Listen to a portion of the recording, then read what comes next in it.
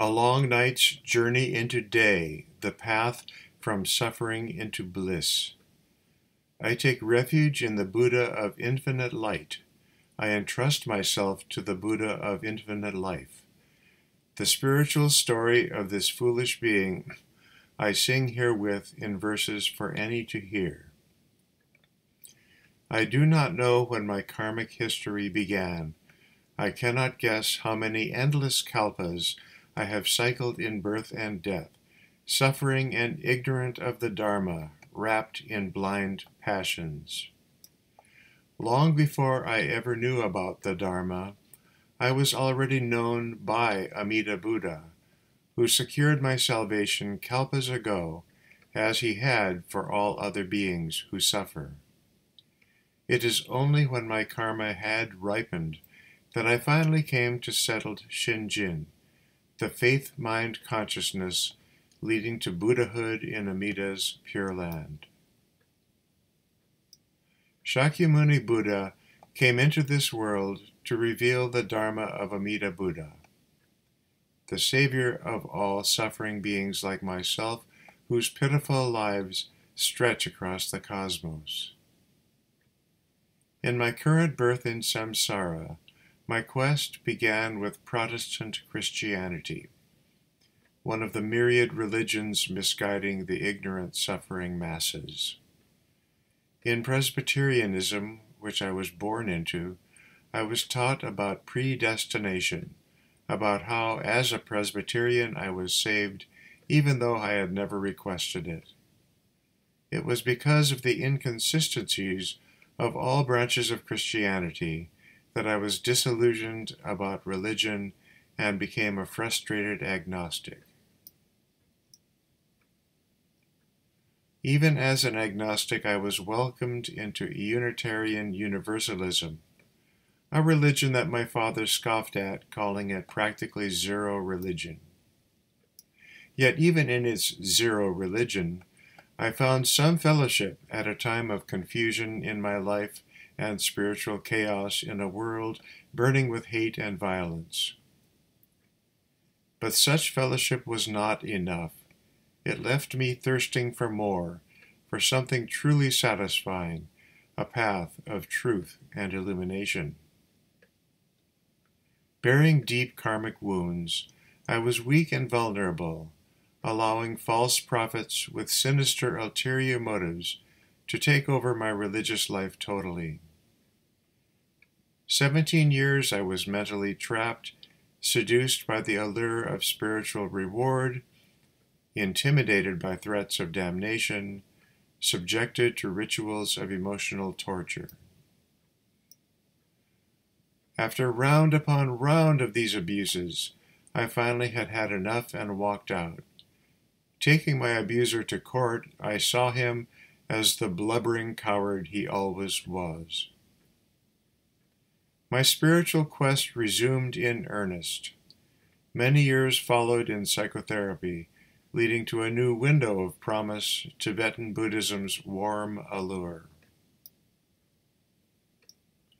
But finding it full of hard practices, I left it and dabbled for a few months in Nichiren Buddhism, its energy and glitz going nowhere but throwing me into despair.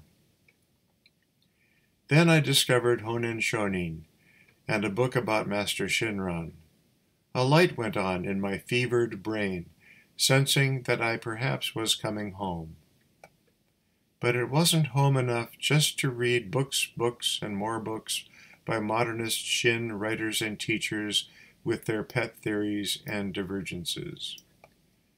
Then a voice came through loud and clear on a Shinshu discussion email list a voice calling for the Sangha to return to the pristine teachings of Master Shinran. That voice was none other than Paul Roberts, whose own discovery of the true teaching came during a period of personal grief, but he received Shinjin despite his tribulations through the mentorship of Aiken Kobai Sensei, a Shin priest who assured Paul that Amida Buddha and his vow of universal salvation were reliable, true, real, and fully trustworthy. At first, while I was still enthralled by the seductive prose of modernist Shin teachers, I scoffed at and attacked Paul out of ignorance, not realizing he would become my mentor. It took me a few more years and mired in modernist Shin teachings when, on a day I will never forget, my teacher Alfred Bloom said, quote, Of course, there's no Amida Buddha. Unquote.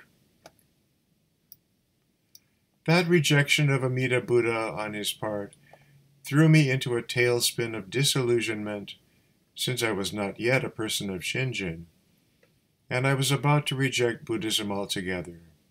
I began to experiment with other religious paths, even returning briefly to Nichirenism with its virulent condemnation of Amida, his followers, and his path of faith. Yet a prompting came to me, doubtless by Amida, to seek out my enemy, Paul Roberts, for his opinion on whether Amida and the Pure Land were real or just a symbol, as the modernists were saying. As a last resort, I phoned Paul that fateful day, and he said to me without hesitation, Yes, Amida Buddha is a real Buddha. Yes, the Pure Land is a real place. Just hearing those words was all I needed to come to Shinjin in a bolt of light, for the truth resounded so authentically in Paul's words of entrusting and deep faith. This is a perfect example of the importance of having a true teacher, a person of Shinjin, one indeed qualified to transmit correctly the Dharma of Amida Buddha. My seeking had finally resulted, at long last, in finding the answers I yearned for, the solution to my entire karmic destiny. I simply said the Nembutsu and was saved by Amida. Master Shinran wrote of the wisdom of Shinjin, and although I'm still a foolish bombu, caught in the straits of blind passions, I know this most important thing of all. That most important thing is Shinjin. All the learning in the world means nothing if there is not full reliance upon Amida Shinjin is the greatest wisdom of all. And living in the wisdom of Shinjin, though I'm but a foolish bombu, I know what the ancients long sought the way to nirvana, Amida's primal vow. Truly, Amida is the greatest of all Buddhas, for only he devoted his entire enlightenment to the precondition of fulfilling his great vows to save all the suffering beings everywhere. Experiencing the vastness of Amida's compassion has awakened me to the great bodhisattva vow beings are numberless, I vow to save them all. And so I will when I am a Buddha myself, when I'm reborn in Amida's pure land at the end of this, my last life in samsara, and join Amida and his legion of Buddhas to save all beings who still suffer. By saying Namu Amida Butsu, I thank my Savior Lord Amida Buddha for saving this struggling foolish being from the bane of endless birth and death. This is the true meaning of rebirth in Amida Buddha's land of peace and bliss. It is why all the Buddhas rejoice when persons like myself come to settle Shinjin. And with settled Shinjin all will we be well, for the attainment of Buddhahood will be, as it already is, the common inheritance for all beings on every plane and world.